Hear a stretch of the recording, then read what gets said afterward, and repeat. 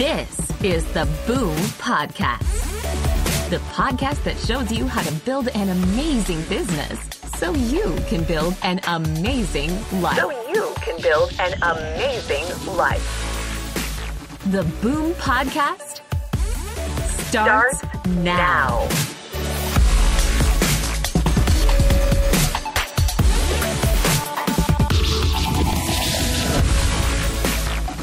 Season four of the podcast continues on. Mm, they said it couldn't be done. Woo.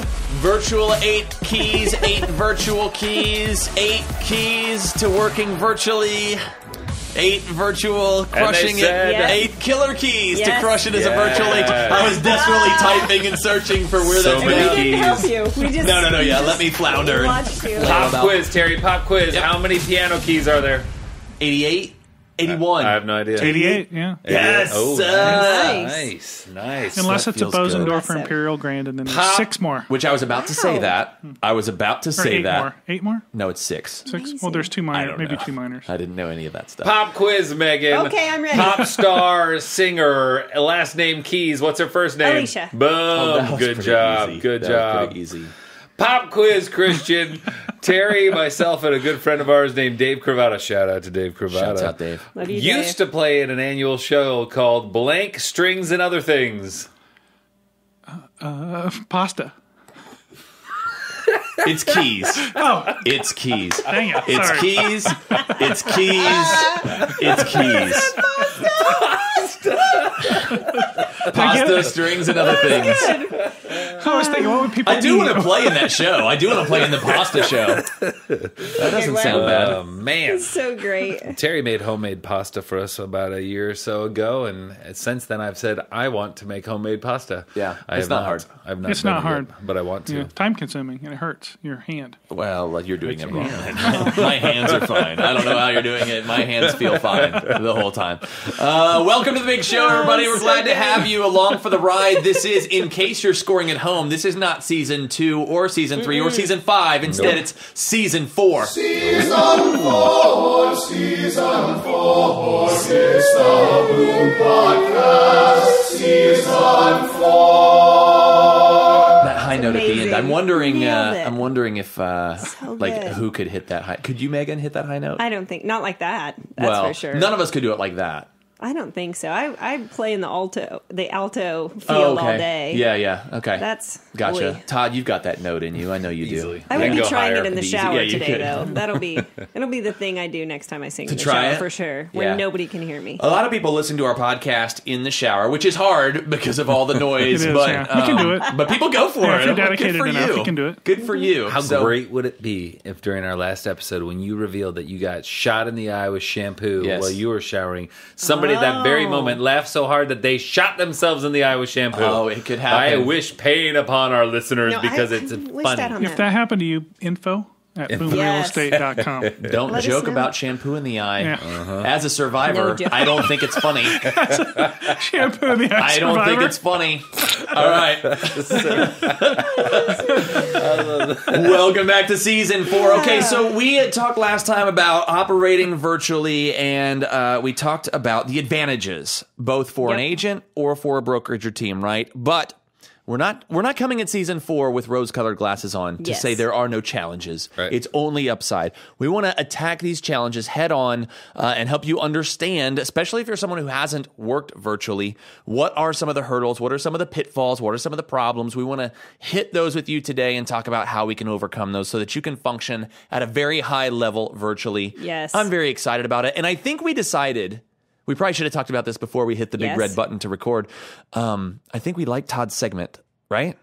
We're gonna Yeah, run yeah, that I back. loved it. Yeah. I think we're running that back. I think we're gonna give Should him give another another, shot? Yeah, we're shot? gonna give him another try. This is like the gong show. You're like kinda on I can keep going until you all gong me out. exactly, Oh, that's funny. exactly. Oh, that's good times. Okay, So- so um, but let's Yes. let's go ahead and dive in uh, to some of the challenges and uh, that that are existing when you operate virtually. Let's Yep. do it, right? Let's do it. Yes, we are going to just go through again, just like Terry said, no rose-colored glasses. There are always hurdles, Mm-hmm. no matter what. If you if you aren't virtual, there's hurdles that you have. So we're just going to go over. We've got a short little list of Yeah. the challenges you're going to face, but we're also going to tell you how to get through them. So Yeah. that's the good part.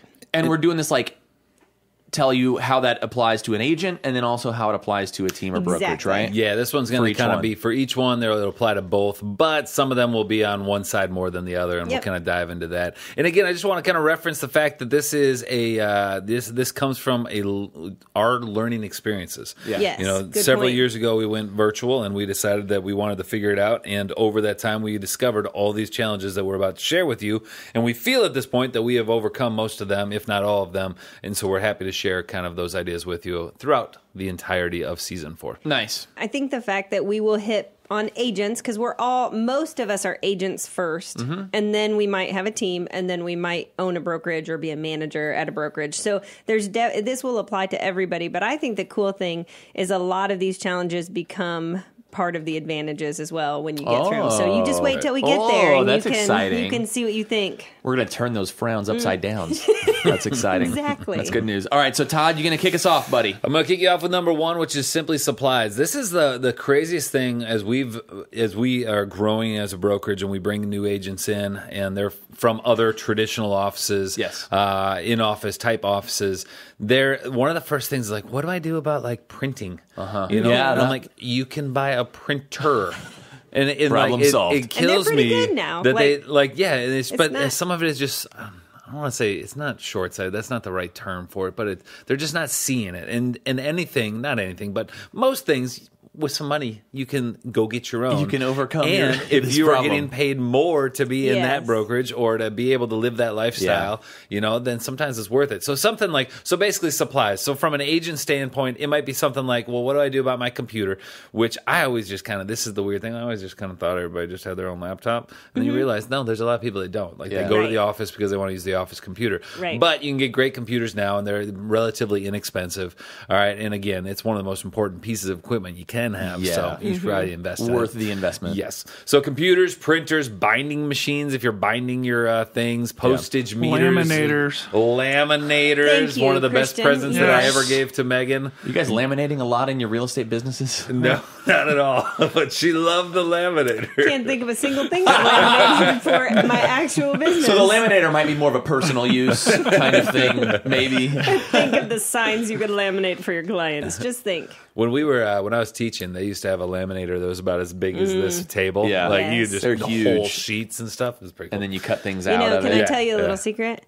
Another mom and I, my kids, one of our kids' elementary schools, we have a, we actually have a standing, uh, not an argument. It's kind of like the Sharks Oh. versus the Jets, though. Yeah. Oh, on when we volunteer, rivalry. who gets to do the laminating and who doesn't? Because we go on different days, and so if I get the laminate, we both love that giant laminator, and if I get it, I'll and I'll tell. I've like told the teacher, oh, I love laminator day, you know, and I'm totally buttering her up. Then I get the laminator job, and I take pictures and I send the other mom, and I'm taunt like, her. eat Oh, yeah. it. Look at me Yes. in the laminator. We're Yes. besties. Do you have the big thing that cuts? You put it in there and you pull the thing down. Oh yeah. Oh, the Widowmaker. We The have that in Widowmaker. our office. Yep. Yeah, that We with, call those the Widowmaker. that with the laminator. just shoo. yes. I have Oh, always that's thought like if I'm because we don't have you guys can break into our house whenever you want. We don't have a lot of self defense, Mm-hmm. but that's where I'm going. I was I'm going to rip that thing off, and that's going to be my Oh. little machete. I'm always scared our kids are going to get a hold of that thing. It really is petrifying. Oh, yeah, is, they're yeah. big and scary. For sure. so they make that noise. Oh, so boy. the office supplies Sorry. thing. Well, I have a tech back- tip. I got a tech tip. oh, you do? Yeah, wait, hold on. It's time for it. Yes. Oh, it's been so too long. It's a tech tip. There it is. Timing not great, but hey, you remembered the live That's why I read. did remember the line. You'll get the cadence back. It's all good. No, you mentioned uh, office supplies. Yeah. We got a laser, a color laser printer Okay. that also scans Yeah. and it also faxes if you have a fax line. I don't know why you'd want to fax, but it does it. And I think it's a couple hundred bucks. Is Yeah. a Canon. Yes. Yeah. And the toner is not that expensive, Yeah. and it doesn't run and all that kind. Of, and these are not expensive devices. I They're add that not. in as a as a kind of a quasi little tech tip, Yeah. but these are not difficult hurdles to get over. Time We, mention. uh, Go ahead. Can I close the segment? I, I was just going to say, oh, go ahead. Okay. It's time for Got to close it's it a up. or- tech tip. Gotta Close the segment. If you don't close the segment, the segment runs infinitely through the rest of the episode. The listener's still wondering. The listener's like, is it still tech tip? It can run the entire series. We don't actually. want to confuse the whole season. Is it a season long tech tech tip? I can't believe. Well, we closed it, so we're good to now go. we're good. Back that to you, loop is closed. Back Very to you, good. Todd. I was just going to say one of the things we did is we invested in a printer Yeah. that is online, uh, and basically it it can read when it's low on ink, Yes. and then when it's low on ink, we already have a backup Yes. supply, but it orders another supply. Oh, that's Wait, wait, Nice. wait. So it's that online. Well, like it, uh, what uh, it's. I don't know how synced. it knows. Uh, yeah, Oh no, no. That's why you did that. good. Uh, but the, it's stuff so like it's that. a- like it, within your network. Yeah, it's on Okay, our I network. not and somewhere then- out there. But it's like so it's HP. So HP knows like okay, oh the Ferris printer is starting to get low. We're Oh, going to send okay. them. So, so we're Oh, on- so it sends you we're- it Yeah, automatically just sends us it ink sends when us it's new low. ink when it's it knows crazy. it's low. It's Yeah, awesome. That's pretty nice. I have a little tech tip around this too, Christian. Oh, If you yes. can open it back up. A tech tip. I didn't know if you had to read that part. Oh, since was it I was your supposed to do tech that? Oh tip. yeah, you were. Supposed I'll do it with you when we close it back Yeah, up. we gotta close hey, the segment. guys. Remind us to close it back up. Got it. Okay. All right. We realized, I think, when we were going through this process, that the quality printing is a lot more about the paper. Yeah, Than it is, yeah, that's Good true. point. The Good toner point. of the printer. Yeah. So Yep. invest in some of the good color paper. So Dunder hmm. Mifflin makes a nice one. They make Yes. Dunder. Mifflin, high quality color paper. That's right. All right, let's close up the tech tip. Let's close it up. It's time for a. tech tip. It's a tech tip. Nailed it. right in the same range. I like that. Nailed good. it. Back to you, Todd. Yeah. Yes. Okay. So let's keep going with it. So This is going to be um, a four-hour episode so if the- we're not careful here. Those are all office supplies, which again you can just buy those things, and you and which we have in all of our offices, and it's easy. And really, probably about five hundred bucks is all outside the computer, Yep. and our office is set up to go just like it was in any other office. Uh, but then there's some more real estate specific supplies to an agent. These would be things like marketing materials, signs, lock boxes, etc. Again, those can be housed at your traditional office, but guess what? You can just keep them at your own house. So you buy extra signs, you get your lock boxes, get it all right there at your office. So agents, it's easily supplemented, but we'll get into that in a later point. Another challenge on that same thing for supplies for brokerages is simply how do you get all these supplies to these agents? So if you're a brokerage pushing these things, are you going to say it's on the agent to do these things, or is it something that you're going to ship to them? And how do you do it cost effectively? So you got to keep that in mind. And then lastly, uh, if you are going to house things, so let's say you are keeping signs for your agents, how do you keep them? If do you have a physical Yeah. location for it? Do you want them knocking on your door Saturday morning, uh, your home door, saying, "Hey, I need some more signs"? Yeah. So you got to think through some of those. Those are challenges, and again, we'll cover all that throughout the season. Yeah, yeah. That's Yeah, and we're going to answer all these things. it- your questions will be answered. It occurs to me that we're we're 13 minutes into the show, and we've said one challenge is. Well, you're going to need some paper. We've got the solution. Buy it. All right. we spent 13 minutes on that. I mean, we don't want to give But- but- away all the solutions, but buy it. It's a printer. Uh, I didn't mean to undermine this episode with that little. very It just occurred to me. That's No, fun. it's great. Okay, so supplies is a challenge. Yep. But we helped you overcome it. Good thing. All right, right, Megan, let's what's move next? On. That's the biggest one, guys. So That's don't pretty worry. much We're the just hardest uphill part. From, or Does it? down near hill from Yep, there. down. Okay. Yep. All right, so let's move on. Next one's going to be training, education, meetings, Mm-hmm. all of those things that you might do at an office. How do you facilitate them when you're virtual? So, for the agent, you just have to be really aware of making sure you're getting the education you need and where do you get it. So, staying focused on being able to get that education, to stay in the loop. How are you staying in touch? Right. Um, just with like ongoing education on what's changing in the market. How are you staying in touch with other agents that maybe are having great ideas? Is all solvable, actually, fairly easily, but you do need to stay ahead of that as an agent. And then as a brokerage, this is a, a bigger, um, should be a bigger focus for you on how to supply the agents with the ability to get that education. New agents, um, experienced agents, agents that have a team, agents that are ready to grow a team. How are you providing that to these agents so that you are the resource? And then trying to motivate agents the next hurdle you will mm-hmm. find is that then once you have it in place you have to keep the agents motivated to plug mm-hmm. into it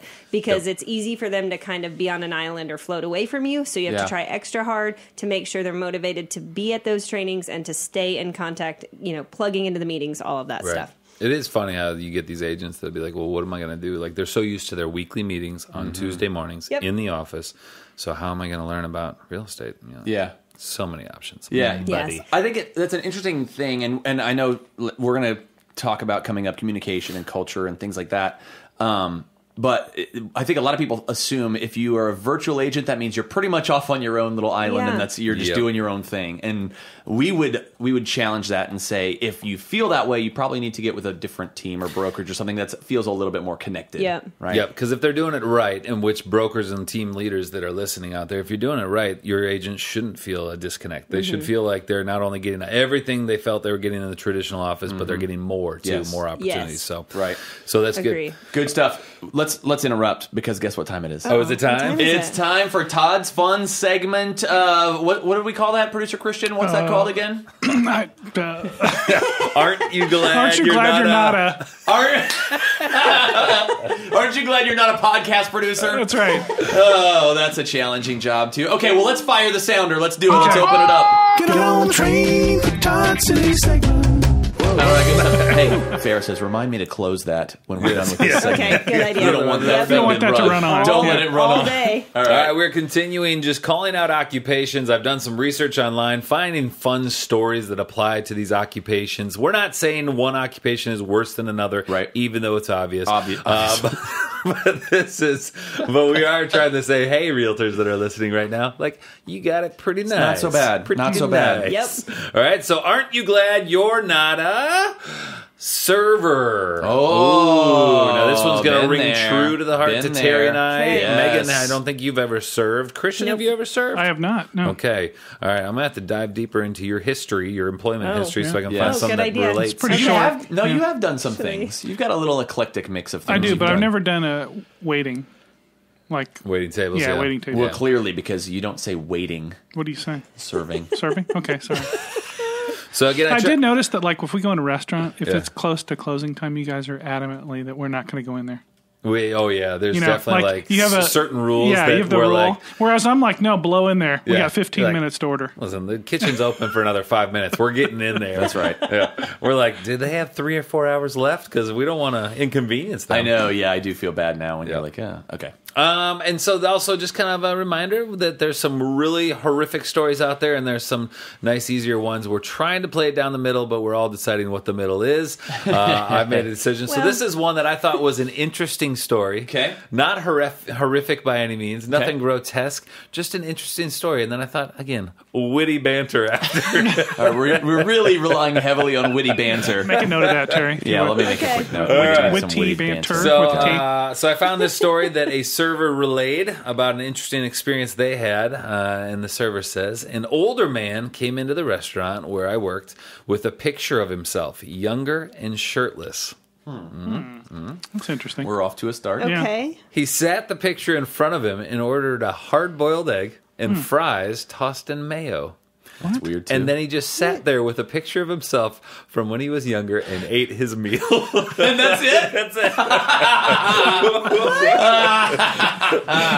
okay Yes. That Okay. was- I Yes. Just, I'm envisioning it, and I, I don't put it past somebody to do either. Like, but it- Right. and I'm trying to think, like, is the guy like doing it intentionally to be funny, or is this just like he's reminiscing about Glory his right days? it's just him and his younger self going out for a hard-boiled but who egg orders a hard-boiled egg? and fries And tossed fries in mayo. tossed in Yeah. mayo. yes. Hey, fries and mayo and ketchup are good. Yeah, it's I don't know if I'd Yeah. toss them. It in is a. Belgian Right. thing where Yeah. they, they do the mayo with the Yeah. fries. just but just So good. tossed in mayo it's kinda in odd. I think the tossed in mayo is the less important thing to focus on. the less weird thing about the story. okay Is it the hard-boiled egg? Like, he comes in, he's got a shirtless picture of himself younger, but he tossed his french fries in mayo. what is that I was thinking hard-boiled egg. Odd. Let's talk about condiments we should be tossing our french fries I was trying in. to think any uh, horror stories that you can easily or or, Oh. or fun stories from your serving days. I thought of the one. I'll give you a moment to think. Okay. Uh, I thought of one where I had a lady, and Terry and I, as you guys may know, we jest. Did We you did you work occasionally at the same jest. Place? Uh, we Yes. did Outback Steakhouse. Okay, Yes. all right. So a lot of traffic, Yeah, a lot of tons people. I've worked at Tarragon Grill, which went out of business. I worked at TGI Fridays and had m- uh, plenty of flair. Did- yeah, Uh, 13 and pieces of flair. Gotta have 'em. And then I uh, retired from the server industry after working at Outback Steakhouse. So there you Did go. Did you get a big retirement they settlement? threw a huge. like 401k, healthcare, Yep. whole deal? yep, I cashed gold that watch. bad boy out, That's and it. it was enough to cover my cost of dinner at Outback oh, Steakhouse. Nice. Yeah, well, that's cool. Yeah.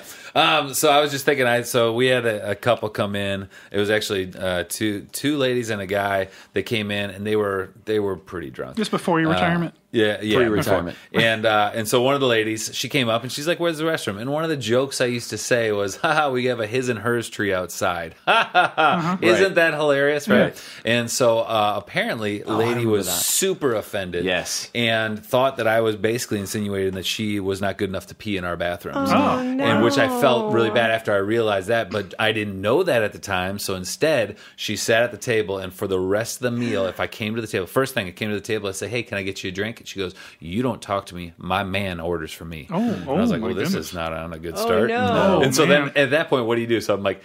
Uh, uh, does she want a drink?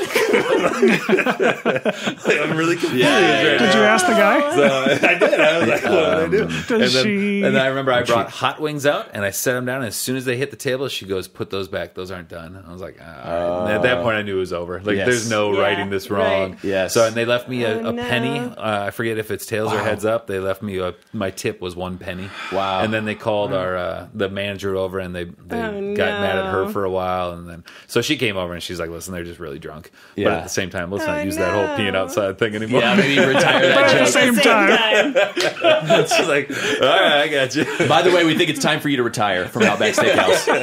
it might be time. the old those jokes don't fly anymore, Todd. They worked back in the fifties, but now it's over.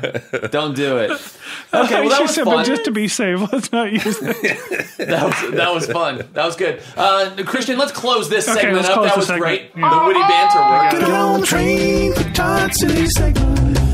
All right, let's roll on, Todd. What's the next uh, the next challenge of so operating good. virtually? Is it jokes that don't land with your Yes. clientele? Is that it? It does have to do with communication. Okay, Hey, okay. Look how we did that. All right, from an agent's perspective, uh, it's going to be hard because what happens the, for them, it's not too big of a change. Like whether you're in an office or you're at home, you're probably not like walking over to your your client's house to talk to them. So communication shouldn't change for an agent, Right. whether they're virtual or in a traditional office. Uh, but what they might miss is that some of that pure communication, like that water, uh, the water machine, Cooler. What's like Water machine. water machine?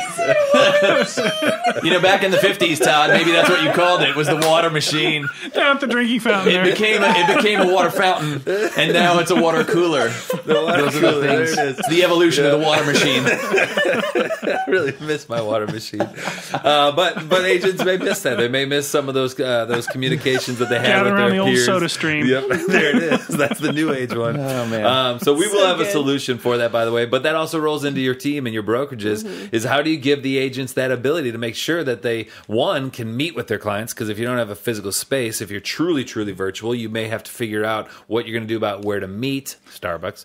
Uh, second thing is staying involved and invested with your agents because you will see this. There's going to be a disconnect when you don't see your agents on a regular basis. You're going to miss those opportunities to just talk with them at the water machine and have like catch up. good. But you need to make sure that you figure out ways to stay invested, stay involved, and then make them feel the love, as well as let them talk to the other agents and have those relationships. And there's going to be a solution. Yeah, I'm Yeah. actually excited about that one. We've got some really great options uh, to get over this hurdle that I think make it even better than the day to day office that people are traditionally used to. It's exciting. So we're withholding solutions for the most part right, right. now, right? Yeah, Like we're- yeah. we gave you the freebie with buy office supplies. That's the free solution of today. That's your nugget. That's your takeaway. you can see the value in our solutions. A lot I of value in our obviously. solutions. Printing paper really makes the difference. doesn't it? It does. It That's does. a big It is deal. a hack. That's what I we mean, It is determined. Yep. Yeah. So, all right. So the next one that we'll need to overcome is just production in general, and and being aware that you need to keep your production and and, and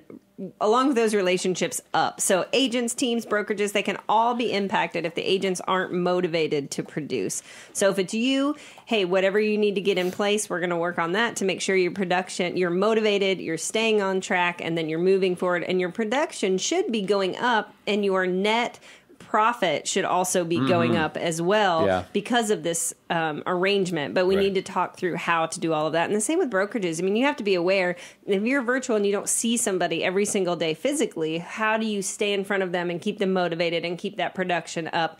It's doable. Stick with us. That's right. That's right. That's a big one. That's a big one. And Todd, is. you've got a big one now too. This is Yeah, another kinda- kind of tricky wicket. Yep. So uh, all of these things. Uh, Sticky wicket. I went with tricky wicket. I don't Okay. know. I like Tricky both. Uh, all he these didn't even things. flinch. I think it felt No, I think for it's him. okay. Felt real good. Water machine. What? Water machine guy. You can't go wrong with your vocabulary with me. Um, so all these things kind of roll into one, which is just simply culture. And this is probably the hardest thing that people have to agents and teams and brokerages have to figure out is how do you maintain that positive culture, that inviting culture, that culture that people want to stick around for? How do you do that when there's this disassociation or this isolation when you're working virtually? So it's going to naturally happen, but there's also ways to get past it. But keep in mind too, there's a lot of agents that they're not in it for the culture. Like Yeah. they're they're in it for everything else that Yep. your team or your brokerage offers. And so some of those agents you don't have to try to you know bridge the gap as much as you do with some of the others ones. So Yeah. Yeah. so keep that in mind. Challenge for the agents is to also stay involved when they're working from home, when they're working virtually. How do they stay involved with teams of brokerage? How do they stay inspired to want to be a part of that company or be a part of that team? So that's another challenge that you're going to have. And again, all these solutions coming. Teaser, teaser, teaser. That's right. Good stuff. teaser, teaser. Uh, so the last challenge, Megan, this is kind of your wheelhouse, buddy. Yeah. Mm, This is one of your wheelhouses. Thank Retention you. time. It's retention, which is awesome because though you could lose agents and teams and brokerages really need to be aware that you can lose agents if you're not paying attention to retention. If they're not getting that love and the training and the support and all those needs